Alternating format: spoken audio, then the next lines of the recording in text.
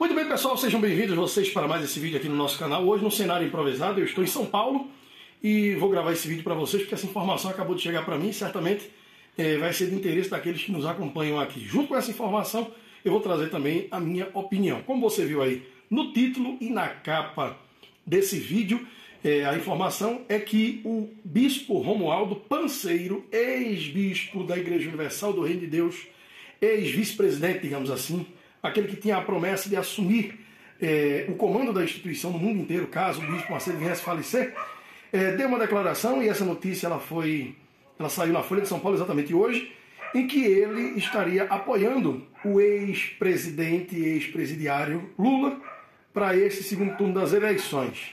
E logicamente que a Folha de São Paulo deu uma ênfase a essa fala, por quê? Porque o bispo Romualdo ele já foi muito influente dentro da Igreja Universal e ele é muito conhecido. Até um tempo atrás ele estava sob o comando de uma outra igreja, Igreja das Nações do Reino de Deus, igreja essa que não existe mais.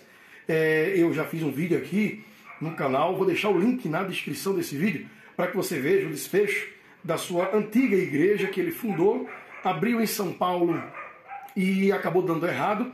E nessa matéria eu vou explicar para vocês, na minha opinião, o porquê que o Romualdo fez essa declaração e baseado em que eu vou falar para vocês. Vamos lá. O Romualdo ele declara que o ex-presidente Lula é uma pessoa bacana, do bem, uma pessoa de Deus. E não se deve ser levado tão a sério um líder evangélico que hoje fale o contrário. Em seguida, ele lembra que em 2014, na inauguração do Templo de Salomão, é, na, construção, na construção que tinha muitas inspirações bíblicas da Igreja Universal, é, e isso aconteceu no primeiro mandato de Dilma Rousseff e toda a turma do PT estava lá. Eu acho que Lula não estava lá, é só para deixar aqui, Lula não era presidente nessa época e, se não me engano, ele não estava nessa inauguração. Lula inaugurou a Record News, que é da, que é da Universal, entre outras coisas, mas nesse momento, se não me engano, ele não estava lá. Porém, ele se referiu aqui a toda a turma do PT e dentro dessa matéria, ele também trouxe à tona a sua opinião pessoal dizendo que hoje a maioria avassaladora dos evangélicos estão apoiando o presidente Jair Bolsonaro à reeleição é, por conta de distribuição de, de verba publicitária, que segundo o mesmo, que é uma outra informação equivocada, na época de Lula era dividido de forma justa entre as imprensas e com Bolsonaro as empresas evangélicas passaram a receber mais.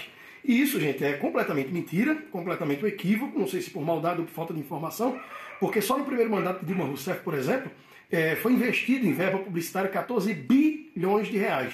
E nesse primeiro mandato do presidente Bolsonaro não foram investidos nem 250 milhões, ou seja, nem meio bilhão, enquanto com Dilma Rousseff no primeiro mandato dela foram destinados 14 bilhões. A maior parte dessa verba ia exatamente para as grandes imprensas, aquelas que tinham mais audiência quando se tratava de rádio e televisão e mais vendagem quando se tratava de jornal, no caso da Folha de São Paulo, que recebia uma fatia muito grande dessa verba. E com o presidente Bolsonaro foi, foi diminuída e muito. É, primeiro, o número de valores investidos foi diminuído, e segundo, que foi dividido de uma forma um pouco mais justa para que é, todo mundo tivesse a oportunidade de fazer seus investimentos e crescer mutuamente e fosse é, disponibilizado uma concorrente mais justa e mais leal. Isso aí eu falo porque eu acompanho e eu tenho essa informação. Você pode dar um Google aí que você vai ver, não precisa nem dar um site específico, isso aí é muito fácil. No portal da transparência, por exemplo, do governo federal, é só você digitar lá é, 2014 e agora, é, de 2014, o primeiro mandato de Dilma e no primeiro mandato do presidente Bolsonaro.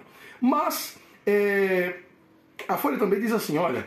É, o, o, o, o bispo Romualdo chegou a ser chamado como o maior milagre de Deus pelo bispo Macedo em um dos seus livros, e é verdade isso. Ele chegou a ser chamado é, o, o, o, seu maior milagre, e também essa promessa foi feita que ele seria aquele que iria substituí-lo no caso de morte.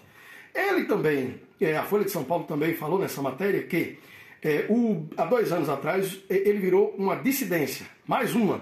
E não foi há dois anos atrás, foi há mais tempo dois anos atrás, ele abriu essa igreja, a Igreja das Nações do Reino de Deus, que já fechou, volto a dizer, mas a sua saída da Universal se deu há mais ou menos quatro anos. Portanto, a Folha de São Paulo não fez as pesquisas devidas para trazer essa, essa matéria ao ar. Ele até fez uma comparação com o Valdemiro Santiago, com o R.R. Soares, que também já foram é, da Igreja Universal e hoje tem o seu trabalho, mas o trabalho desses dois, eles fazem é, muitos anos que estão aí e estão prosperando a cada dia, diferentemente do Romualdo.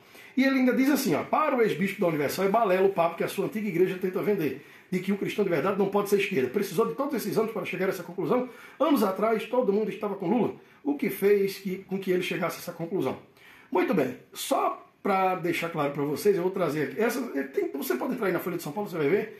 É uma matéria completamente pobre de informação e traz, obviamente, na capa o Romualdo por conta de que ele é um pseudo-bispo e que traria uma, um enfrentamento, em tese, às ideias, por exemplo, do Bispo Macedo e de outros membros evangélicos que estão apoiando o presidente Bolsonaro à reeleição. Mas o que eu quero trazer para vocês aqui é o seguinte: a minha opinião. Por que, que o bispo Romualdo tem esse ponto de vista e fez questão de fazer, é, é, é, de dar essa entrevista, de fazer essa matéria aqui? E, segundo informações também, ele gravou um vídeo que vai ser usado no guia eleitoral do PT. Por que razão? Bom, o bispo Romualdo, quando saiu da Universal, há informações de que ele tinha muito, muito dinheiro investido nas empresas do Gladson, que está preso há mais de ano, e que é, o, esse dinheiro seria suficiente para que o bispo Romualdo, primeiro, passou muito tempo afastado dos holofotes. Quando ele saiu da Universal, ele saiu e ele mesmo já confessou isso, porque ele traiu sua esposa, teve conduta. É, a conduta dele não foi adequada para o cargo que ocupava, ele foi desligado do quadro de pastores, passou muito tempo afastado, depois voltou com esse trabalho da Igreja das Nações, que no primeiro momento até parecia que ia despontar, e seria mais uma igreja mundial, uma igreja internacional da graça, uma igreja da plenitude do trono, que é uma igreja de ex-pastores da Universal que deram certo. Parecia que era isso que ia acontecer. Porém, muito pouco tempo depois, ele perdeu o seu braço direito como apoio, que era o bispo Leandro César, que hoje tem um outro ministério, a Igreja Batista Reviver, no mesmo lugar em que funcionava a antiga Igreja das Nações, lá em Santo Amaro, aqui mesmo, em São Paulo. Então, é, ele, tinha esse, ele tem esse valor investido na empresa do Gladson. O Gladson está preso, segundo informações, por influência da Igreja Universal, porque tinha muitos pastores que estavam querendo sair da Universal para ir é, fazer esse tipo de investimento, já estava com esse investimento, então em tese, de acordo com essas informações, seria uma forma de que o, o, a Universal iria barrar a saída desses pastores, a saída em grande massa, e eles iriam perder mão de obra para o seu trabalho. Por essa razão, o bispo Romualdo hoje está nesse enfrentamento, e ele, como não tem recurso, não tem mais igreja, não tem mais nada, ele não consegue enfrentar o bispo Macedo se não for por esse meio. E a Folha de São Paulo, claro, tem seus interesses em apoiar ou fazer algo que enalteça o ex-presidente Lula, e venha também trazer um contraste para tentar confundir a cabeça de muitos evangélicos. Porque o que a gente escuta é que evangélico de verdade não vota na esquerda. E o Romualdo falou aqui no finalzinho da matéria. Eles demoraram esse tempo todinho para perceber? E eu tenho uma coisa para dizer para vocês. Não, eles não demoraram esse tempo todo para perceber. Isso é porque foi exposto exatamente agora. Eu já votei na esquerda durante muito tempo, quem me conhece sabe disso, porque a gente acreditava num discurso em que se trabalharia em favor dos pobres, dos menos favorecidos, etc, etc. Depois de um tempo, a gente passou a perceber que, na verdade, era um plano de poder que estava sendo estabelecido, onde o pobre era usado como moeda de troca, como número, como o próprio Lula já falou. E sem contar que agora, de forma muito explícita, a esquerda está expondo as suas verdadeiras ideias, como o apoio à liberação de todas as drogas e também ao aborto, que é um, um, um fato muito contestado pelo, pelos cristãos, pelos evangélicos de todas as denominações, inclusive pelos católicos, por espíritas, por aqueles que são contra essa prática.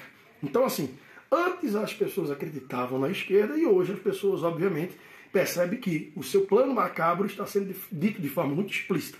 Então, eu não vou entrar no mérito da opinião do Romualdo, se ele gosta do Lula e quer votar nele, é um direito que ele tem, estamos no Estado Democrático de Direito, o artigo 5 da Constituição garante isso para ele, para você, para mim, para todos nós, então façamos uso da melhor maneira, porém, essa matéria nada mais é do que mais uma matéria como tantas outras durante esse, esses quatro anos do, do, governo do presidente Bolsonaro, para tentar fazer com que o seu eleitorado venha enfraquecer e trazendo aqui, através dessa matéria, dessa exposição, porque quem é Romualdo na fila do pão, para que esse pessoal dê uma, uma, uma página toda para ele na Folha de São Paulo? Não é ninguém. As pessoas não vão conseguir é, entender, ah, mas quem é esse Romualdo? Tem gente que nem conhece, só quem conhece é o pessoal que já foi da Universal, de fato, na época em que ele era bispo. Fora disso, as pessoas não conhecem. Então, claro que essa matéria tem a intenção de fazer com que evangélicos venham, de repente, mudar o seu voto, porque para a Folha de São Paulo, como para a grande imprensa, interessa sim que o ex-presidente volte à presidência para que os bilhões sejam de volta despejados lá e eles não tenham que vender patrocínio, não tenham que fazer outros trabalhos para arrecadar recursos, viverem apenas do dinheiro dos nossos impostos, que era o que acontecia.